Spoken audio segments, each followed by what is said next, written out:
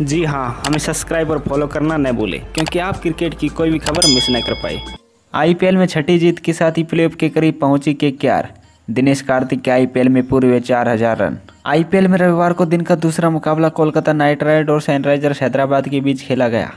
Toss जीतकर पहले खेलते हुए एसआरएच ने 115 रन बनाए 116 रनों के टारगेट को कोलकाता ने चार विकेट के नुकसान पर हासिल कर लिया। टीम की जीत में सुमन गिल ने सबसे ज़्यादा सत्तावन रन की पारी खेली।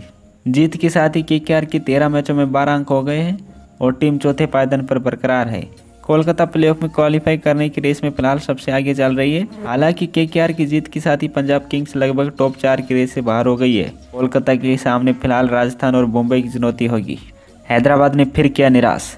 पहले खेलते हुए हैदराबाद की खराब शुरुआत देखने को मिली और पारी की दूसरी ही गेंद पर रिद्धिमान शाह ज़ीरो पर टीम सऊदी को अपनी विकेट थमा बैठे। जैसन रॉय का जलवा भी देखने को नहीं मिला। और उनकी विकेट शिवम मावी ने चटकाई। दोनों ओपनर्स की विकेट गंवाने के बाद टीम को केन विलियमसन ने कप्तानी पारी की उम्मीद थी, लेकिन वह भी 26 रन बनाकर आउट हो गई।